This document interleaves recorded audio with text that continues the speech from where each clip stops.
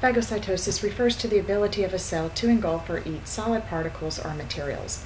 There are several cells within the body which serve as phagocytes neutrophils, macrophages, and eosinophils. Neutrophils and macrophages are the most common, however, in a parasitic infection, eosinophils will play a more pronounced role.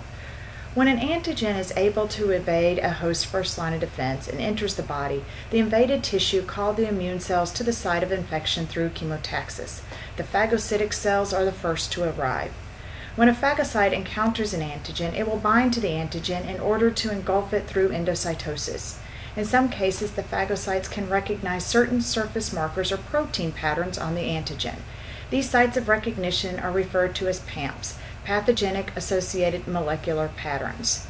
The phagocytes are able to recognize these patterns using specialized receptors known as PRRs, pattern recognition receptors.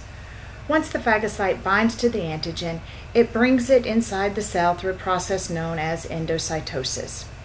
This forms a phagosome, a membrane bound vesicle containing the antigen.